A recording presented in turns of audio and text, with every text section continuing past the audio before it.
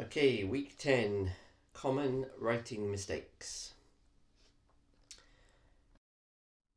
But first, some comments from me. Okay, so this is quite important. Make sure you watch the videos for your class only. I am teaching three separate classes, as you can see here Academic and Professional English 1, which is called APE 1. And then there's also Academic and Professional English 2, shortened to English 2. And there is another class, Basic English. Now each of these classes they use they're using different books. So APE 1 is using Unlock, APE 2 is using Breakthrough Plus 3. The curriculum, the tests, the assignments are not the same. So you only watch the videos that I share with you on Smart Campus. Some students are doing the wrong assignments and even some of you did the wrong test. So it's really important that you make sure you check the correct video for your class. And basically, you just have to watch the video that I share with you on Smart Campus. Okay, please don't watch every video on the YouTube channel because some of them are not related to your class. So that's the first thing that I just wanted to check that everybody's understanding. Right, let's move on. We're going to do the common writing mistakes. And this can be an interactive video. So what you can do is you can pause the video every now and then and just see if you can find the mistakes. Okay, here we go. Right, common writing mistakes. Number one. So this sentence or these two sentences, there are some mistakes. Let me just read it. I went to playground a lot when I was a child. I also went to the China once when I was seven years old. Right, so each example has a different type of grammar mistake. And this one is about articles in English, articles, the, a and an. And there are three mistakes. So, can you find them? So what I would suggest is pause the video, see if you can find the mistakes, and then start the video again.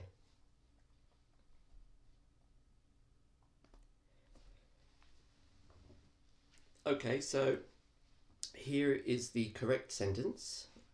I went to the playground a lot when I was a child. So this is a very, very common mistake, but you have to try to use articles when you are using nouns.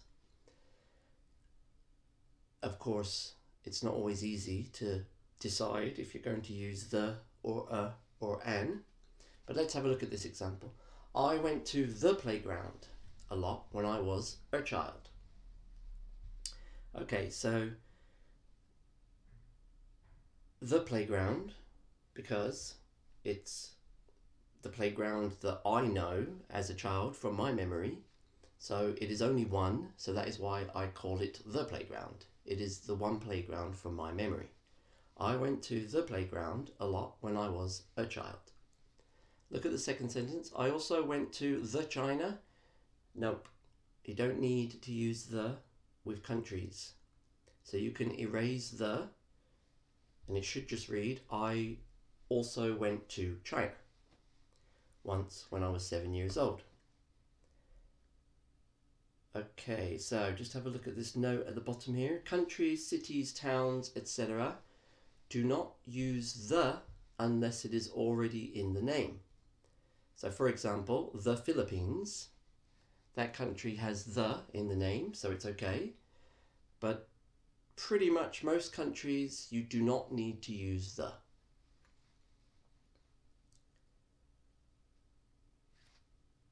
Okay, let's move on. Number two.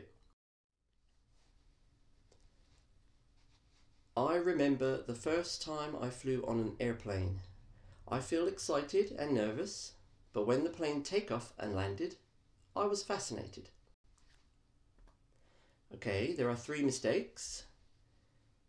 And this one is about verb tense agreement. So you're looking at the verbs and you're looking at the tense. Past tense, present tense, future tense.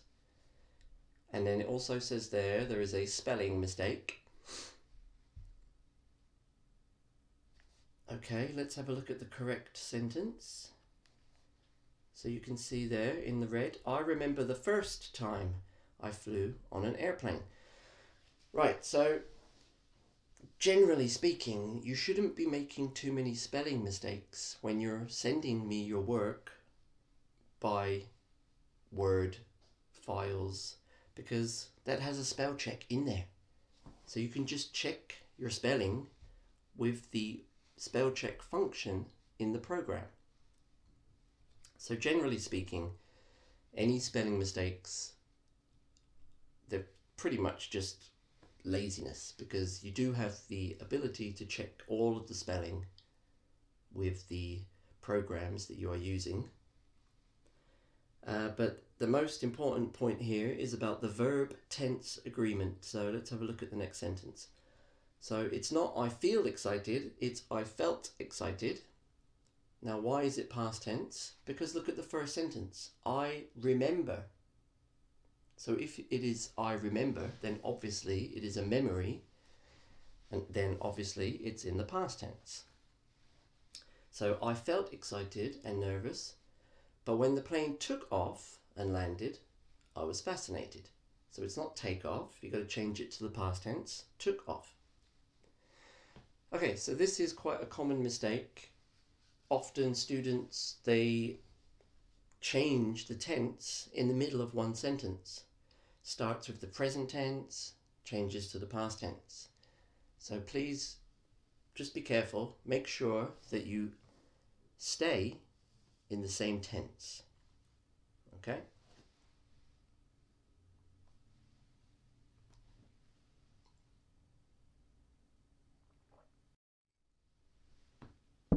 Okay, number three. I had many friend when I was in middle and high school. We used to go many PC room and singing room. Right, this one has four mistakes. So pause the video, see if you can find them. I'll give you a little bit of a hint. The mistakes are related to single or plural, and then also the correct prepositions.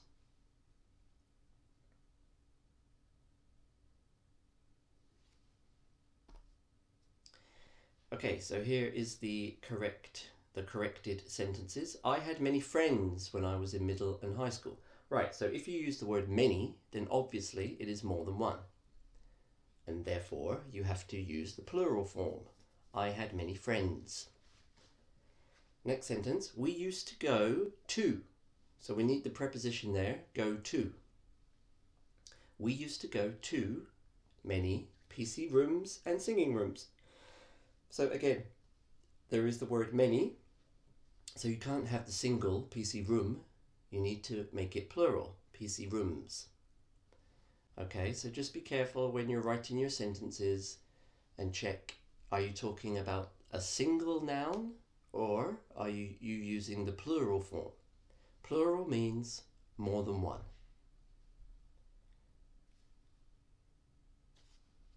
Okay, let's keep going. Oh, there are some people in the singing room. Okay, number four. I asked my partner about her major. She's major is computer science and me is electrical engineering. So this one has two mistakes. And this is related to pronouns. Now there are many, many different types of pronouns. In this particular example, it's about possessive pronouns. Okay, so just stop the video, have a look, see if you can find the mistakes.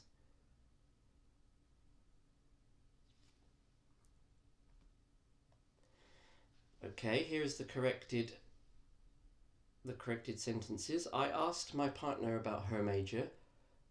Her major is computer science and mine is electrical engineering. So basically, you've got to change she's to her and me to mine because you're talking about something that is possessive. It's hers, it's mine, it's his. Her major is computer science and mine is electrical engineering. Okay, now here is another mistake that I saw in some of the homework assignments. We have to ask yourself. Now you've got to make sure that your pronouns match. We and yourself do not match. We matches with ourselves. You matches with yourself. So we have to ask ourselves. That would be the correct sentence. Okay, so this is all about making sure that your pronouns are matched up and also agreeing with each other.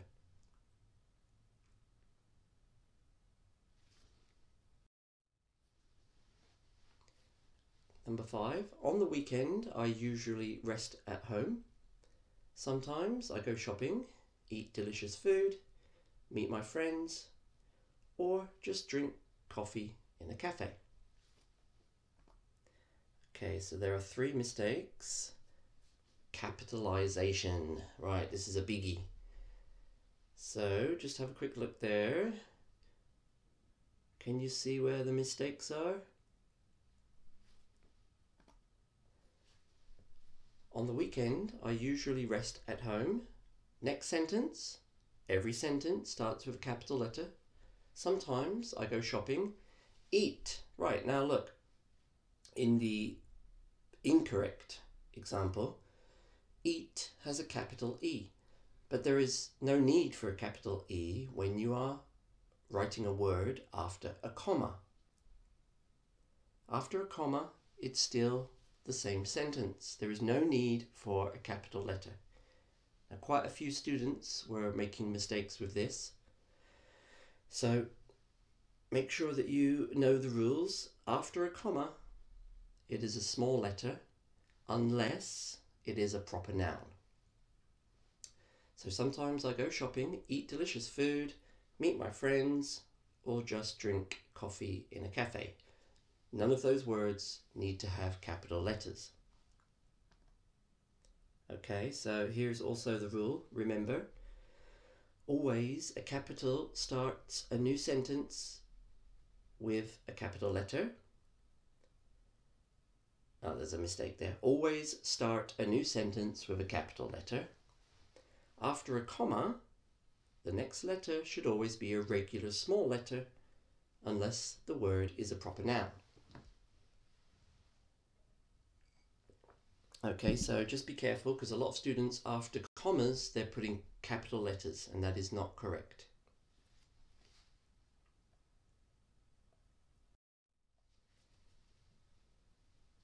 Number six. I'm very fascinating when I watch sci fi movies, although sometimes they are a little bored. I'm also interested in fantasy films. Okay, sci fi is SF, by the way, science fiction. In English, you can say science fiction, you can say sci fi, you can say SF. But that is not the problem here. There are three mistakes and this one is about adjectives ending in ed or ing.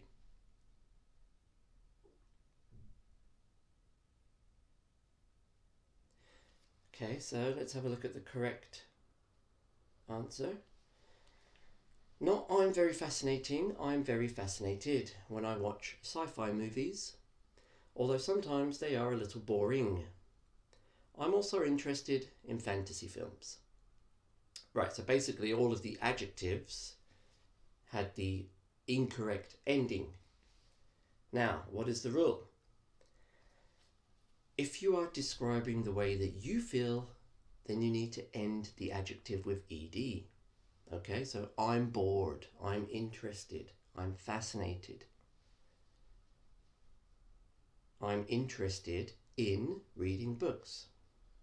I'm fascinated by Korean politics. And then the next rule, if you are describing the thing or the object that makes you feel that way, that's when you use ing. Okay, so look in the example. Science fiction movies are a little boring. So that's describing the thing, in this case, science fiction movies. Okay, so this is a simple rule, but also quite a common mistake. So just be careful with your adjectives and make sure you've got the correct ending. Are you describing your feeling or are you describing the thing that makes you feel that way?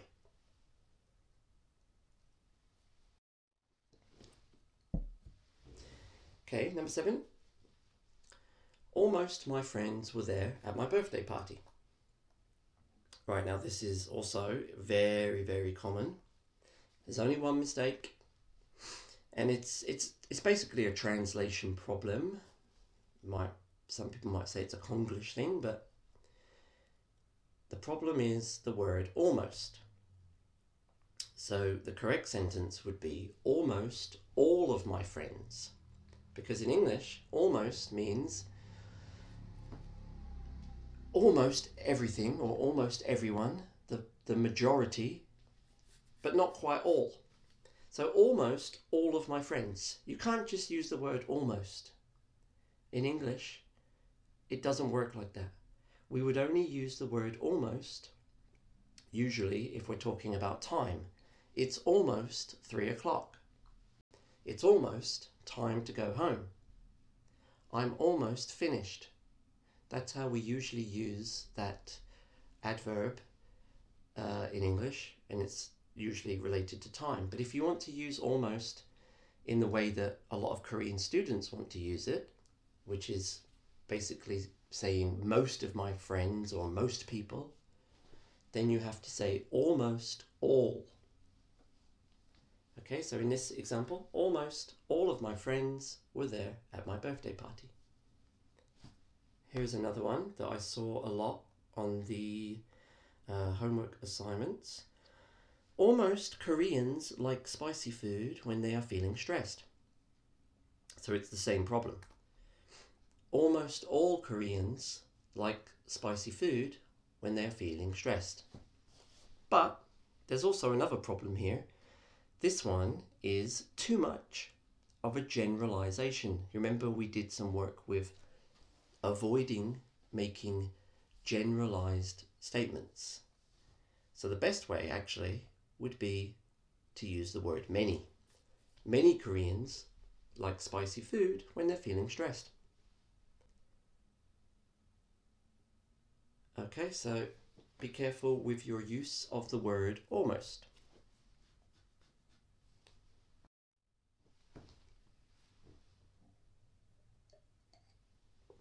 Okay, number eight. Koreans tends to like kimchi. My brother tend to like action films. Coffee tend to taste bitter. Right, so for the uh, academic and professional one and the basic English students, we did study this a little bit. There are some mistakes here. So if the noun is single, if it's only one, then you should use tends to. Not tend to, you have to add the S. So, my brother tends to like action films. Okay, that is a single noun. My brother tends to like. If the noun is plural, more than one, then you're going to use tend to. So in this example, Koreans tend to like kimchi. Okay? Tend to is like usually, mostly. If the noun is uncountable, then you're going to use tends to, which is the single form. So the example here, coffee, uncountable noun, coffee tends to taste bitter. Okay, so just be careful with the way that you are using tend to or tends to.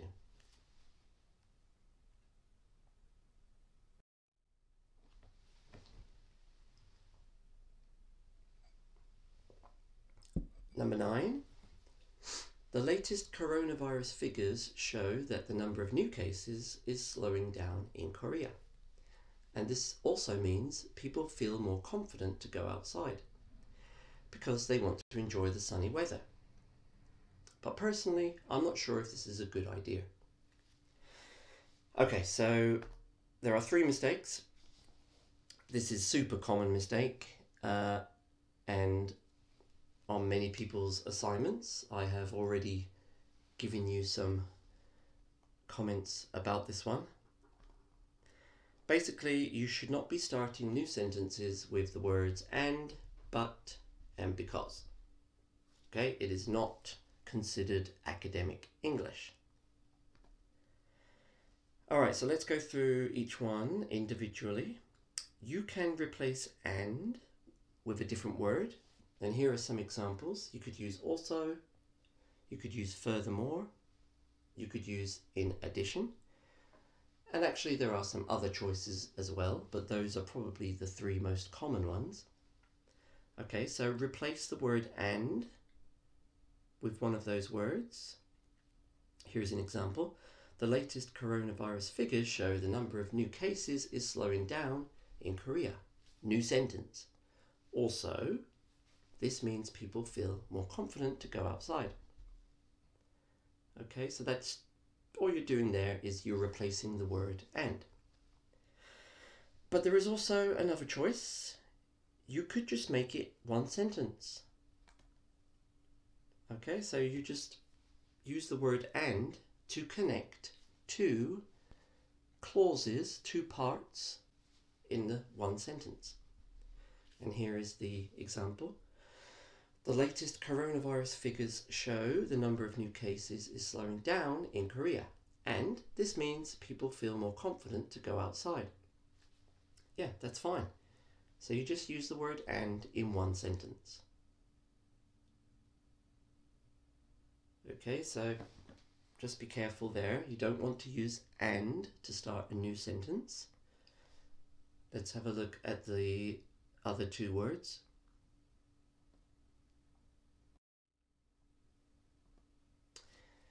Okay, so you can replace but with however.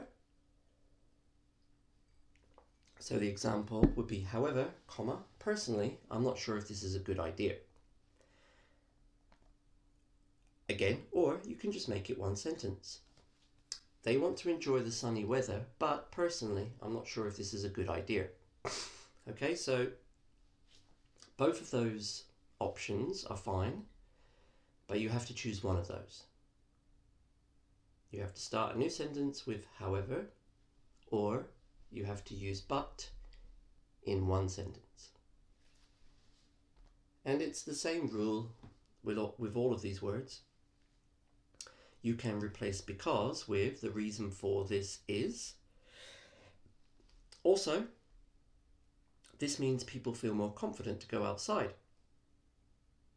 The reason for this is that they want to enjoy the sunny weather. Okay, so that's fine, that's two sentences. Or, just like the other ones, make it one sentence. Also, this means people feel more confident to go outside because they want to enjoy the sunny weather. And actually, I would recommend you use that option. Okay, if you want to use the word because, put it in one sentence.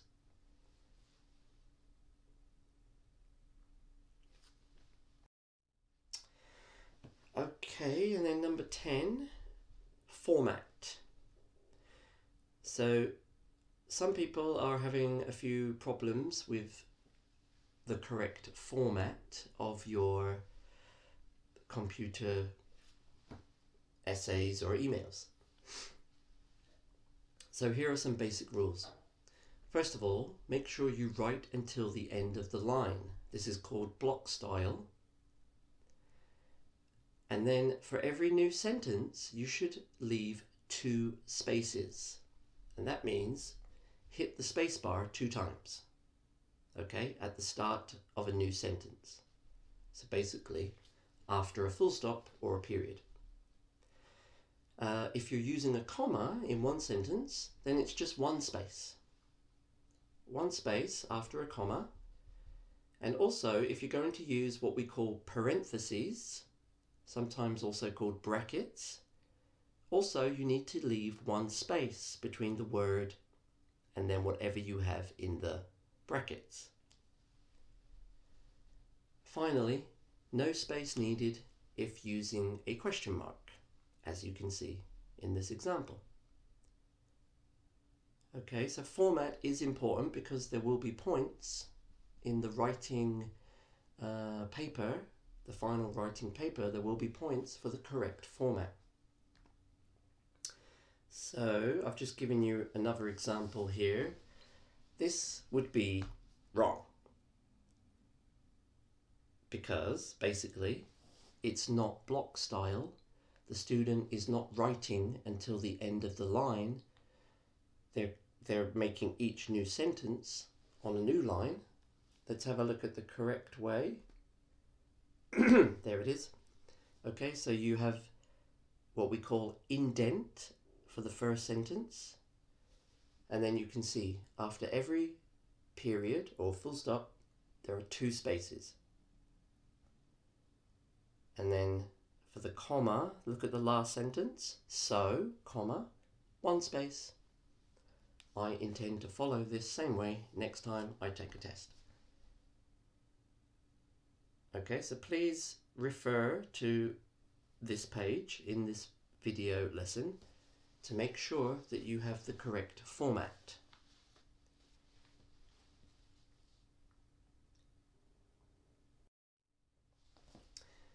Right, okay, so that is the end of this video lesson. There were 10 examples of common mistakes. So please watch the video closely and try to avoid those mistakes. Now I'm also going to share a worksheet in week 10 class content, but you do not need to e email this to me, okay? Do it yourself and at the start of the next video lesson, I will go through the answers. Okay, so you can just download the worksheet, have a go at doing it yourself, and then when I upload the next video lesson, I'll go through the answers and you can check it by yourself at that time. Okay, so that is the end of this video lesson, everybody. See you next time.